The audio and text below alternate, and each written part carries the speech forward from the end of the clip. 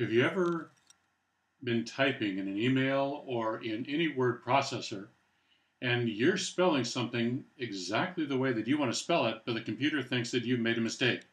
How can you teach your Mac to learn a spelling word so that it doesn't always give that squiggly underline or so that, so that it does not always ask you to correct? Well, let me show you how to do that.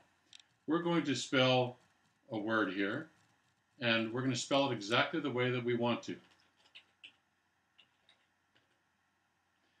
And notice that it gives the red underline. And again, even though I'm in Pages, this could be in Word, this could be in Mail, all kinds of applications. The way to teach a computer to learn this word so that it's not always telling you a mistake is to highlight it, then right click, and you see where it says Learn Spelling. If you click this, then your computer will learn this spelling.